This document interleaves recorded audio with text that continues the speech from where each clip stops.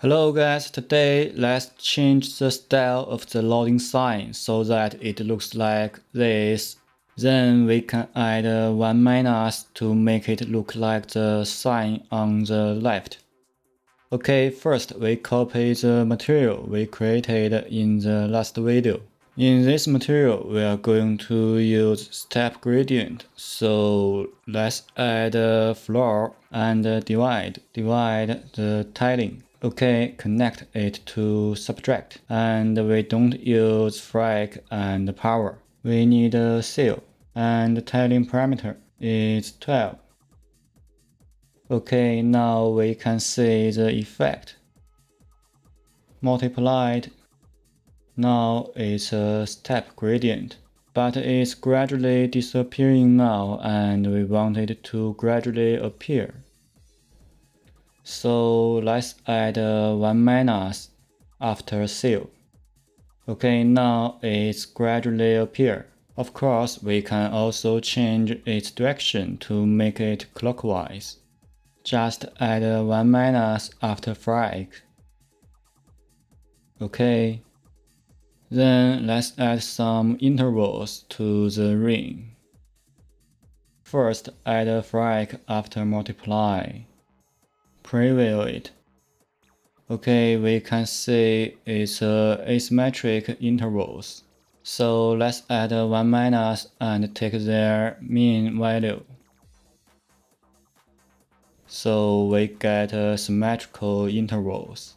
Then add a smooth step. Mean is 0, max we need a parameter. And the default value is 0.1. Okay, round it.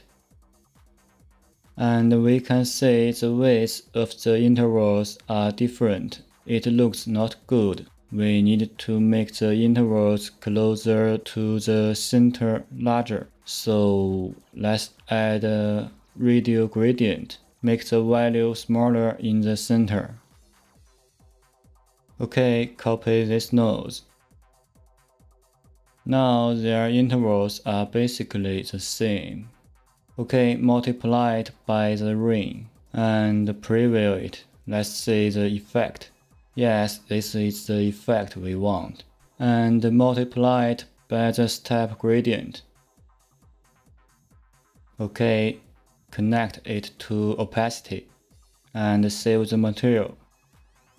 Let's create a material instance. In the material instance, we can change these parameters. Just change it to your liking.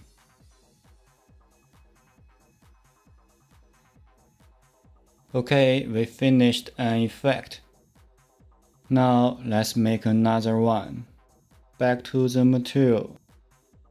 We need a switch parameter to control the style of the effect.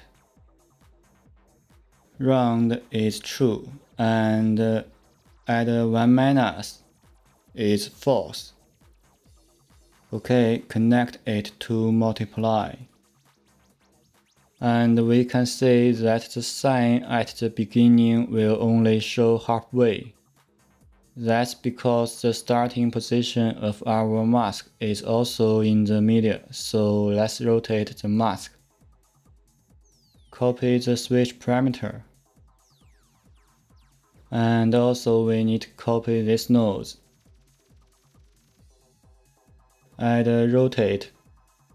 Connect it to false and TexCoord is true. Rotator time is 0.5. Okay, the sign is fully displayed.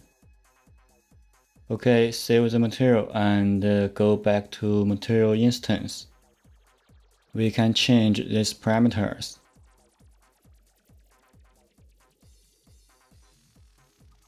This material instance we need set interval is true.